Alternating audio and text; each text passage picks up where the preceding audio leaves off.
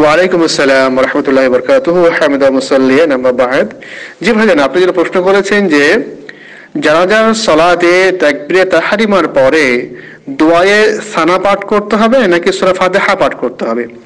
আলহামদুলিল্লাহ, এক্ষেত্রে হাদিস স্পষ্ট।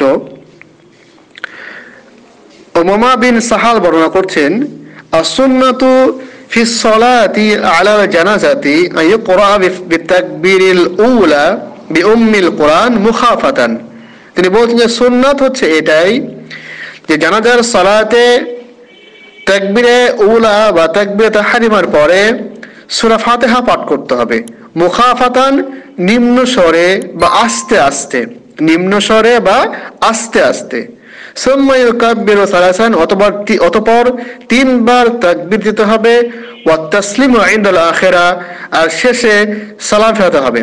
আর শেষে সালাম ফেরাতে হবে। সহিহ নাসাই, হাদিস নম্বর এক হাজার নশো অষ্টআশি। সুনন নাসাই, হাদিস নম্বর এক হাজার নশো উননব্বই।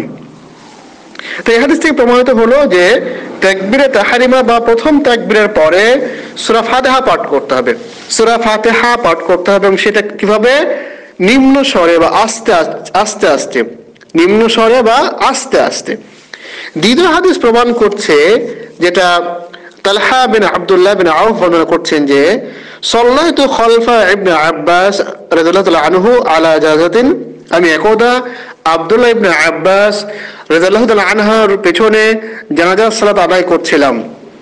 ফাকারা বিফাতিহাতিল কিতাব ওয়া সূরাতান, তিনি প্রথম তাকবীরের পরে সূরা ফাতেহা পাঠ করলেন এবং আরেকটা সূরা পাঠ করলেন। তাকবীরে ওলা বা প্রথম তাকবীর বা তাকবীর তাহারিমার পরে সূরা ফাতেহা পাঠ করলেন আর আরেকটা সূরা পাঠ করলেন। ওয়াজাহারা হাত্তা আসমা'না এবং তিনি এটা উচ্চ স্বরে পাঠ করছিলেন।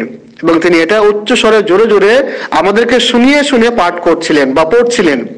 ফালাম্মা ফারাগা যখন তিনি জানাজার সালাত শেষ করলেন আখাস্তু বেদিহি আমি তার হাত ধরে নিলাম ফাসাল তুমি তাকে জিজ্ঞাসা করলাম এবং তাকে জিজ্ঞাসা করলাম যে আপনি জানাজার সালাতে জোরে জোরে কিরাত করছিলেন কেন?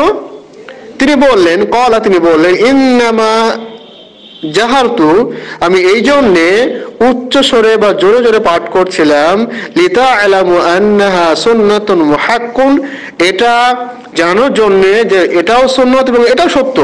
যেন লোকেরা জেনে যায় বা লোকেরা জানতে পারে যে এটাও সুন্নত এবং এটাও সত্য। সহিউন নাসাই হাদিস নাম্বার এক হাজার নশো ছিয়াশি এবং সোনে নাসাই হাদিস নাম্বার এক হাজার নশো সাতাশি। এবং সেই বুখারি হাদিস নাম্বার এক হাজার তিনশো পঁয়ত্রিশ সেই বুখারি হাদিস এক হাজার তিনশো পঁয়ত্রিশ।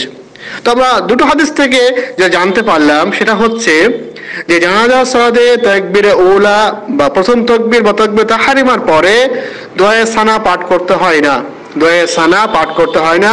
একদম তাকবির তাহারিমা বা তকবির ওলা বলার সঙ্গে সঙ্গেই প্রথমে সোরা ফাতেহা পাঠ করতে হবে এবং তার সঙ্গে আর একটা সোরা পাঠ করতে হবে। এই পাঠ করা যে পদ্ধতি বা অন্য অন্য যে পরে দোয়া বলে পাঠ করতে হয়, এই, এগুলো উচ্চস্বরে পাঠ করতে হবে না নিম্নস্বরে পাঠ করতে হবে? এর দুটো পদ্ধতি জায়েজ। এর দুটি পদ্ধতিও, পদ্ধতি জায়েজ। উত্তম হচ্ছে নিম্নস্বরে পাঠ করা আর উচ্চস্বরে পাঠ করাও জায়েজ। উচ্চস্বরে পাঠ করাটাও জায়েজ, এটা সুন্নত থেকে প্রমাণিত। তো আপনার প্রশ্নের উত্তর হচ্ছে যে জানাজার সালাতে তাকবির তাহারিমার পরে দোয়া সানা পাঠ করতে হবে না, বরং প্রথমেই তকবে তাহারের পরে পরে সোরা ফাতেহা পাঠ করতে হবে। আল্লাহ আসসালামু আলাইকুম রহমতুল্লাহ বারাকাতুহু।